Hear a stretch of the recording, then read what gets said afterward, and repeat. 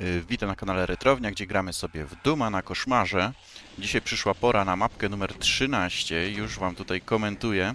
W pierwszej chwili tutaj y, wyruszyłem w podróż po y, bazukę, nie, nie oddając ani jednego strzału, gdyż nie chcę uruchamiać ukrytych tam pinkejów, które by się na mnie zaczęły teleportować.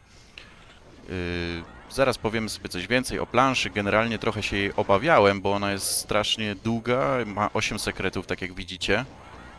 I się zastanawiałem, czy w ogóle jestem... y, Będę w stanie to zrobić, ale okazało się, że y, niepotrzebnie się przejmowałem, gdyż udało się to chyba za czwartym razem już osiągnąć. Na razie zebrałem jeden sekret, w którym był y, Mega Armor. Mm, Teraz sobie tutaj Idziemy do drugiego sekretu, wziąłem nie, nieśmiertelność, żeby trochę było łatwiej, bo ten początek tak średnio mi poszedł. Ale za chwilę już będzie wszystko wyjaśnione. Tutaj mamy właśnie drugi sekret. Zbieramy sobie Chaingana. I powoli będziemy się przebijać coraz dalej.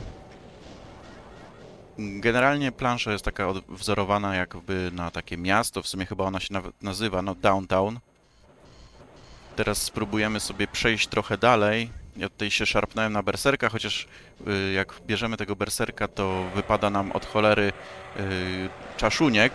No ale mm, wolałem mieć pełne życie. Te czaszunie i tak głównie się same y, zabiją, a pamiętajcie, że takie rzeczy, które wybuchają, już się nie respawnują drugi raz, także jak już się ich tam pozbędziemy, to już potem będzie z górki. Tutaj muszę troszeczkę spokojnie się poruszać, bo jest kilka pinkejów wściekłych. Te pinkeje na koszmarze to tak jak widzicie, one mają tempo po prostu zawrotne. Tutaj mamy kolejne dwa sekrety. Jeden właśnie tutaj, a drugi po odpaleniu tego przełącznika ukrytego na ścianie. O właśnie. I tutaj możemy sobie zebrać supercharge'a. Tych pająków nawet nie próbuję zabijać, bo nie ma sensu. I teraz w sumie nie wiem, y, chyba się zawiesiłem troszeczkę, bo nie wiedziałem gdzie mam iść, albo po prostu...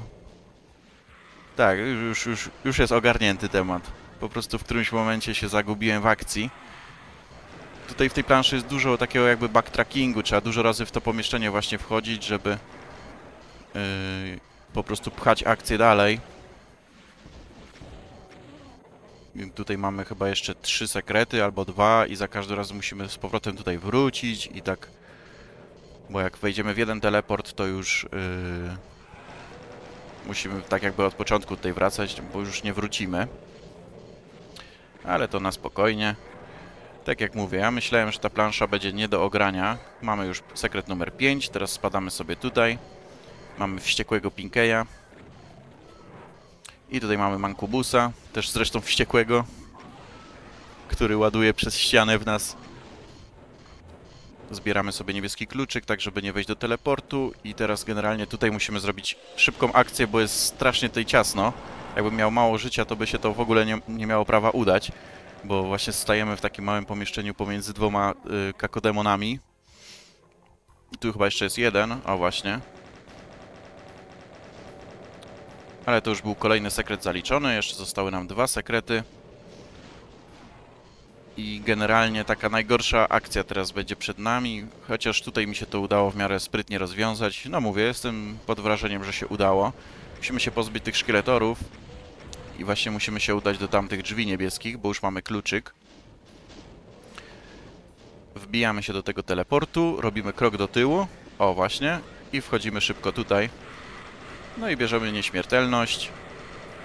Odpalamy sobie przełącznik ukryty, który od odblokowuje nam kolejny sekret. Szybko uciekamy dalej, zbieramy kluczyk, tym razem czerwony.